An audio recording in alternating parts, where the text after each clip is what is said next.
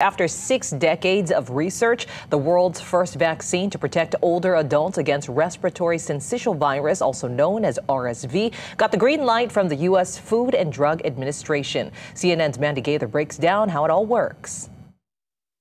The past RSV season was rough, with the virus spreading at unusually high levels, putting those most vulnerable at risk. The manifestations for both very young infants and older adults, especially those with respiratory conditions, um, can be can be quite severe and sometimes deadly. Now, the FDA has approved the world's first vaccine to protect against RSV, designed to be given as a single shot to adults 60 and older. It could be available for seniors as soon as this fall, pending a recommendation from advisors to the U.S. Centers for Disease Control and Prevention. That committee meets in June. Trying to nip it in the bud with prevention or reducing the severity before it even occurs uh, is how we make changes in our public health. The results of a large clinical trial of the vaccine show it's 83% effective at preventing lower respiratory tract disease caused by the virus